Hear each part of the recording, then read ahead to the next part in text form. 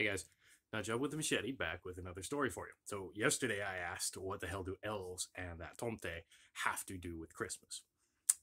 Well, get yourself a cup of wassail or Glögg or whatever the hell you're drinking today. Get some eggnog, I'll give you a second. Got it? Okay, good. So, it's also one of the reasons why I haven't been doing reviews is his shoulder's kind of fucked up. Uh, I'll tell you why. It's mostly my job and stuff like that. You know, a bunch of overhead stuff, repetitive movements.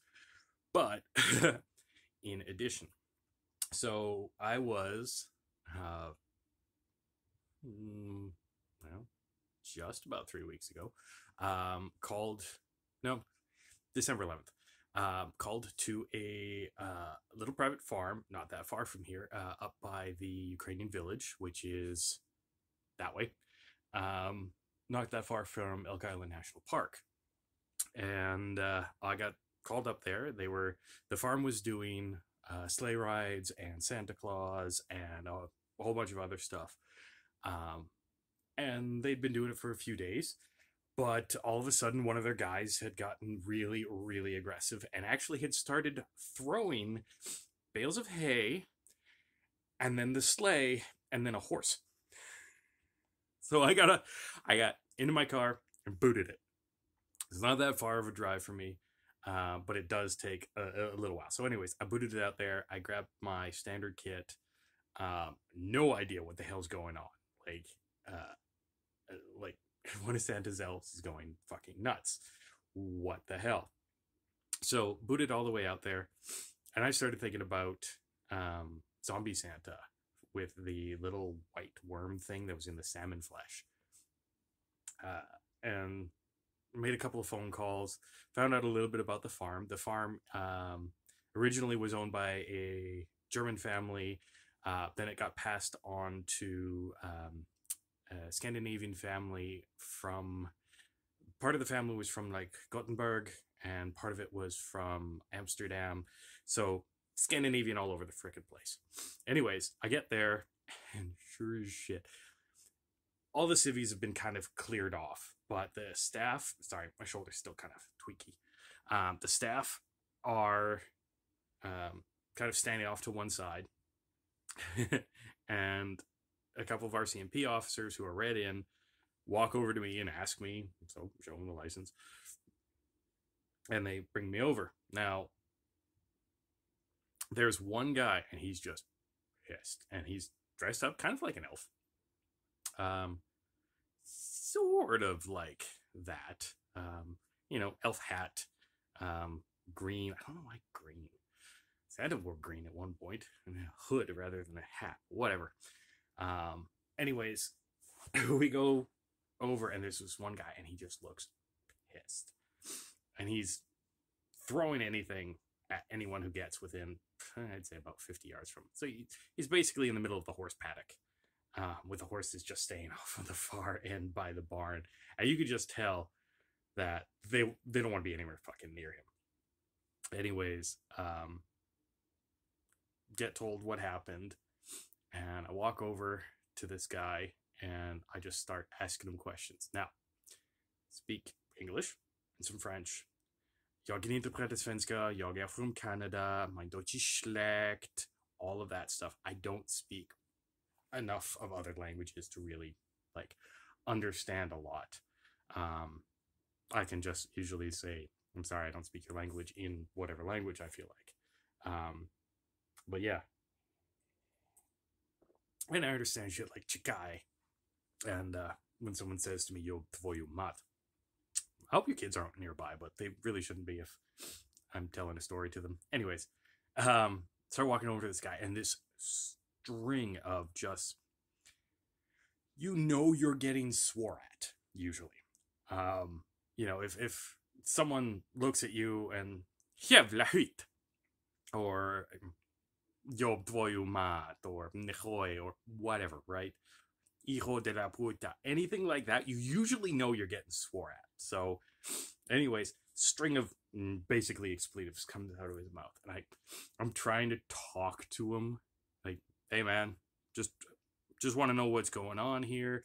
I've got my um, almost there, I inner tube strung across me like a bandolier. I've got um, a steel knife on the belt.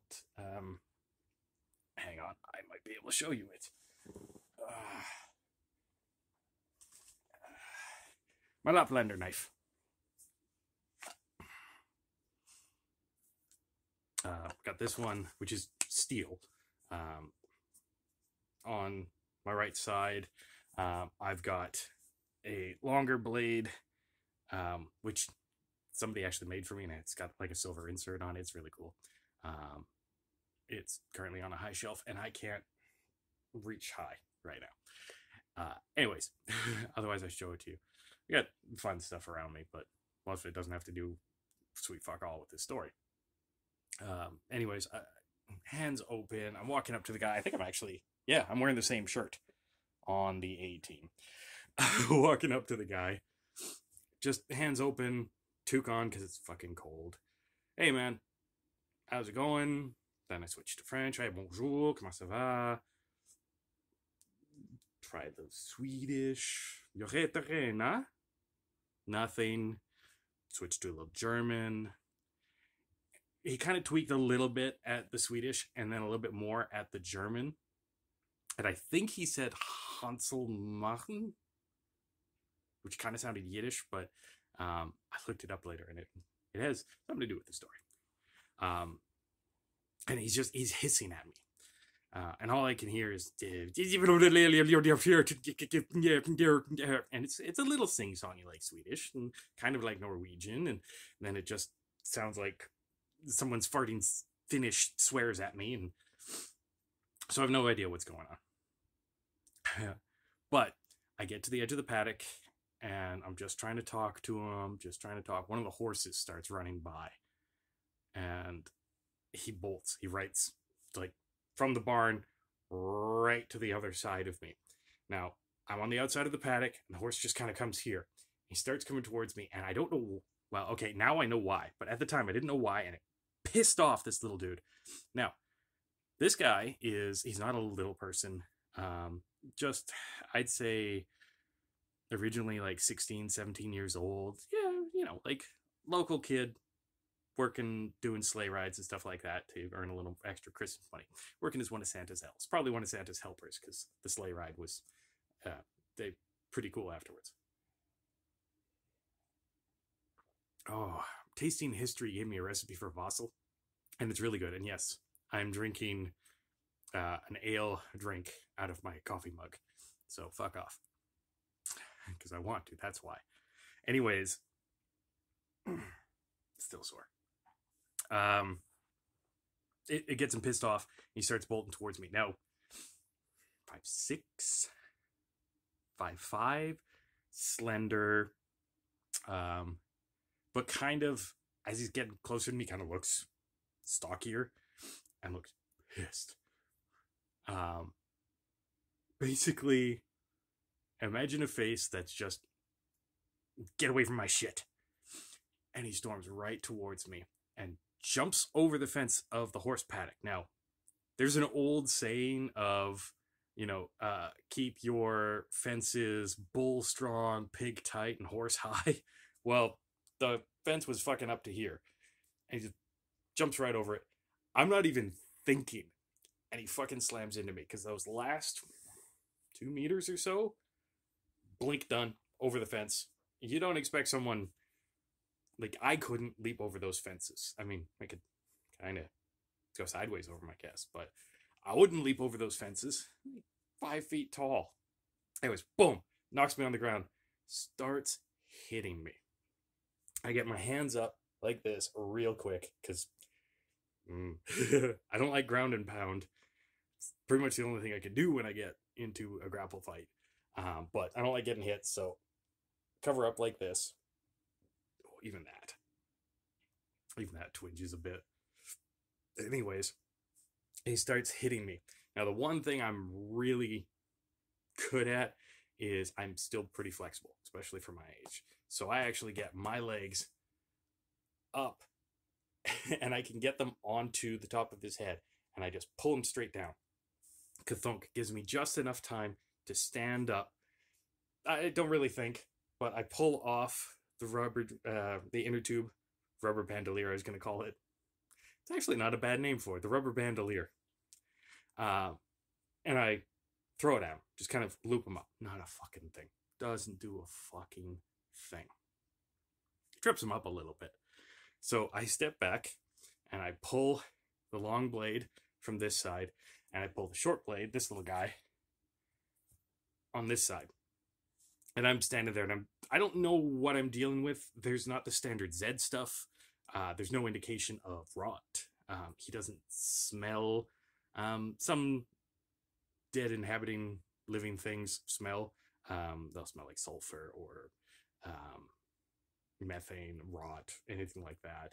Um, viral infections, usually there's something, but other than looking like a pissed off Santa's elf, looks relatively normal. Anyways, charges towards me. Don't think, and I bring down the big knife while holding the small knife kind of in reserve. So, boom. Never had this happen before. Um, I think I had it happen once when I tried to chop through a coconut with a big blade. Took, pretty much bounced off. Then this little hand reaches up and grabs my wrist and twists, and the big knife goes down. And the small knife goes forward, because at this point, fuck, I damn near shit myself. I wasn't wearing the brown pants, but I probably should have been. But, yeah. Oh, that's good wassail. I'm saving some for my wife she's out getting her last minute stuff, doing some things, and she might have been joking, but it's entirely possible we're getting Popeyes for Christmas Eve dinner, which is fine because I made elk chili yesterday. So, um, and we're having Christmas Day with her folks and Boxing Day with mine. Anyways, neither here nor there. Back to the story. Anyways, um, the little knife comes forward and I don't feel a hand come up here. What I do feel is a kick. For those of you who don't know, I um, I haven't in a couple of years, pretty much since you know COVID and all that kicked in. Um, I was a Muay Thai instructor.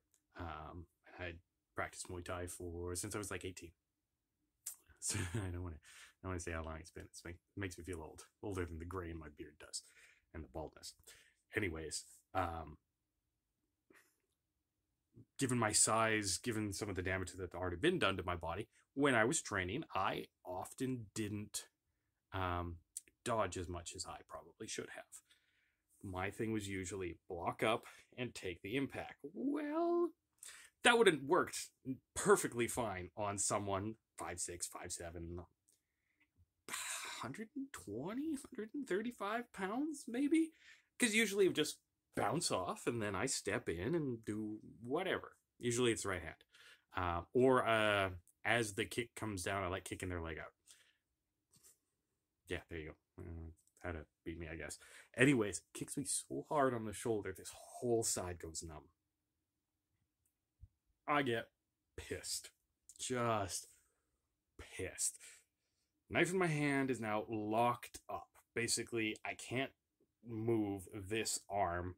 This shoulder is screaming at me. I do something I never do. I think I've done it twice when I've gotten pissed off. I just grab the fucker by his throat. And I'm holding him like this. I'm like, my shoulder fucking hurts. Porridge. The fuck? and I'm angry. So I, I'm squeezing.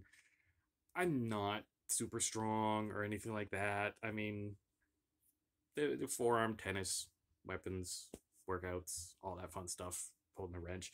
Yeah, okay, my grip's relatively strong. Scab, I'm 90% certain your grip's a bit stronger. your forearms are like the size of my biceps, easy. Uh, but I'm, I'm squeezing. I'm squeezing just right because I'm squeezing here. And I'm squeezing. Porridge. The fuck do you mean porridge? I'm angry. I'm I lose my eloquence when I'm in pain. Uh, I tend to go very quiet, actually, but I'm angry. That kick really fucking hurt. I'm holding on to this fucker's throat hard. And normally, to crush here, not that difficult. To cut off the blood flow, not that difficult. If you grab them like the whole neck like that, okay. Then it depends on the size of their neck and that. But I'm not. I'm Claw. Eagle. Maybe next time we teach him Eagle. You get that reference? Kudos. Um, I'm still holding this guy's throat. I'm like, porridge. Porridge with a pat of butter. And I start to realize he's speaking English. So I let him go. I'm like, okay, hang on a second. Porridge with a pad of butter. What in the blue fuck are you talking about? Nisa wants porridge and a pat of butter on top. Nisa, you? Nisa. Turn around, I'm like, what's this kid's name? Tommy. He says his name is Nise. Farmer goes, fuck. Farmer's all dressed up like Santa, by the way. Kind of missed that in the little introduction. Starts walking forward. I turn to him. Nisei? Wants porridge with a pat of butter on top. The fuck? The farmer starts speaking. Uh, I don't know if you've ever heard like Old German or Low Dutch, but he starts speaking in Low Dutch to this Nise. I'm getting none of it. I don't speak any Dutch. It's not Dutch. It's not much. Uh, I don't speak any Dutch. My Swedish is just terrible. Very little Slavic or anything like that. Minimal Germanic. Anyways, Low Dutch is pretty much what the guy was sort of speaking before. Still hurts. so, yeah. I just clacked my teeth and that kind of hurt too. There, we'll finish off the wassail. And that way I won't do it again. Anyways, Nise, as it turns out, is the name of an uh, spirit which is currently inhabiting Tommy. Nises, or Tomte, are sort of farm spirits. Normally outside my wheelhouse. Thankfully, Farmer Boy starts telling me what's going on. I guess what was a tradition about 100 years ago when that area was kind of settled um, was and this is I've sort of gone through it. Turns out it's a thing. if if you have Nise Tomte, um, any sort of Germanic kind of gnome spirit, kind of like brownies and hobs and shit like that, and um, hustle muffin, Hasselmann, Haselmann, German word that I said earlier, which I don't know how to pronounce it, so I'm just gonna not say it. Um, Yes, apparently they will uh, help you out. if you remember to be polite to them. Uh, I guess the standard thing to give them is porridge with a pat of butter on top. I'm getting this from Santa Claus, by the way. He's still dressed up, red suit, a little bit open, white shirt underneath, bushy beard, more hair than I have, fucker. and he's talking to Nise. Nise? He, he kept saying Nisa, so I'm saying Nisa. Um, and yeah, he had about 20 years ago inherited the farm from his dad, who also used to do the Santa Claus thing. Only people would come, you know, on their own um, sleighs and stuff like that, skidoos, all of that stuff. And his dad every night would lay out a bowl of porridge with a pat of butter on top as kind of a thank you for a good evening. This guy was like uh, three, four days into it, hadn't done it once. So the Tomte, the Nisse, took it a little personal. And apparently, those little fuckers are actually really strong. And he threw the horse. Apparently, what he really did was he kind of shoved the horse over, um, which was is still kind of impressive. You know, it's gonna sound redneck as fuck, but I don't know if you've ever gone cow dipping, um, which is sort of an urban myth. But I managed to take a bunch of my drunk friends cow tipping once. Uh, I got a lot of money out of them uh, because I kept saying that the uh, car kept running out of gas every small town we were going to, uh, and since it was their idea, they had to fill up the gas tank. I don't know that one's fucking evil, uh, but it's not easy to push over livestock that's fully grown. Steer wrestling and stuff like that aside, it's not easy. It's not even easy to push over a steer, truthfully, if they're you know standing. Uh, but yeah. I guess now this is after afterwards I started talking to the the farmer. I'm not going to tell you his name. I, I don't tell anyone's last name, anyways. Uh, but yeah, Tommy started to feel kind of off, and the first thing he threw was the first thing nearby. He was sitting on a hay bale. And he went towards the farmer, and the sleigh was in between them. Well, he picked up the sleigh and went like that. Now, I'm not talking like some of you guys have seen um, and been on sleigh rides and stuff like that, where it's like the length of a truck. No, this is like a four person sleigh. It's still like 400 pounds. We basically went whoop, which startled the horse, which was attached to it, which became unattached by the sleigh, tipping over. And a horse comes towards him. He just kind of shoves it over, just trying to get to the farmer. Why in the corral? Apparently, Tomte and Nisse, I'm just going to call them Tomte because it's easier for me to say, like animals. They like animals. There's stories of them, you know, helping out animals and stuff like that. But if you disrespect them, yeah. So he was going to where it was comforting. Still pissed off as all fuck, but going to where it was comforting. Horses didn't realize this. They just saw fucking tiny Tommy. Yeah, it would have been better if his name had been Tim, but it was Tommy, so fuck up. Fuck up. So fuck up. Fuck off. Fuck off. Shut it. Um, anyways, they just seen this tiny little thing like fling one of their friends. So member of their hurt. Anyways. so the farmer goes inside, makes porridge. Not oatmeal, by the way. Porridge. Straight up porridge. Pat of butter on top. Comes out steaming bowl of porridge, pat of butter on top. Wooden spoon. Don't know why. Probably just tradition. Hands it to the Tomte. Devours the fucking thing. As soon as he's done, Tommy falls the fuck over. Bull hits the ground. Boom. Nobody knows what the fuck happens at this point. Tommy's unconscious. I go over and I check on him. By the way, at this point, my shoulder was just on fire. So I check his pulse, check his breathing. He's doing okay. Just because, and I felt a little bit salty.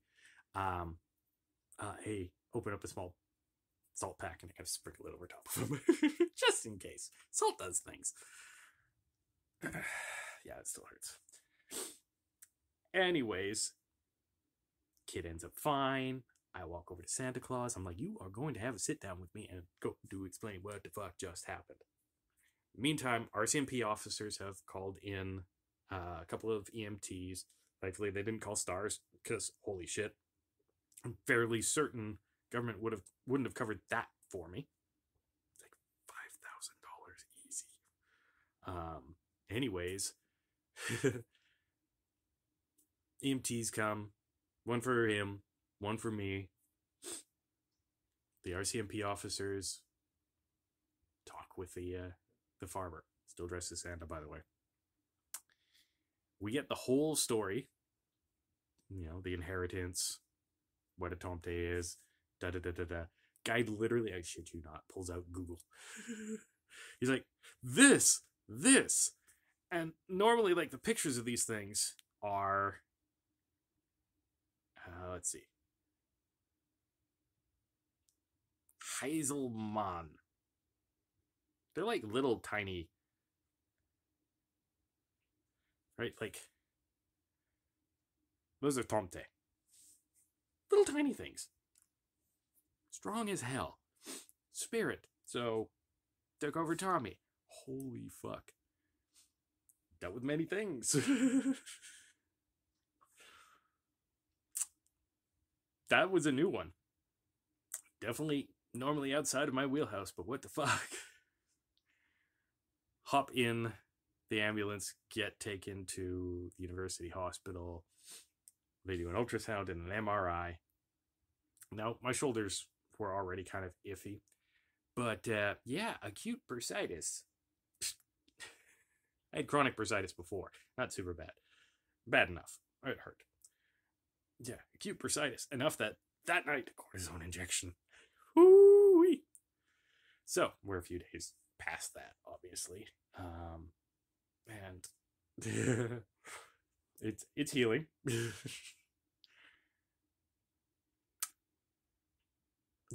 the rule, the takeaway, the don't get kicked by a fucking tomte. I know some storytellers and stuff like that will make fun of gnomes and shit, but Jesus Christ, brownies will fuck with you. Tomte will fuck with you. Nisa will fuck with you. The fact that he took over Santa's elf is just funny as hell. Like, not really a dick move. Didn't really have anything to do with Christmas, other than the fact that, you know, this was a tradition that his dad had and all this shit. Yeah. I don't know. It's just one of those weird fucking things that I got to do every once in a while. So, but a nice farm. And if you ever get a chance actually to go to the Ukrainian village when it's operating, I think they do a winter thing. Didn't really have a chance to check it out, what with, you know, being in pain. um it's it's a cool place to visit. Uh the Vegreville's the other direction. No. Ish. Vegreville's further down and they've got the world's largest um Sanka uh Easter egg. Uh, Ukrainian Easter egg, and also really, really, really good um, stuff. That's it. Just remember, Canada's great, except for the zombies and the occasional pissed off Tomte, Nise, Hazelman, zombies.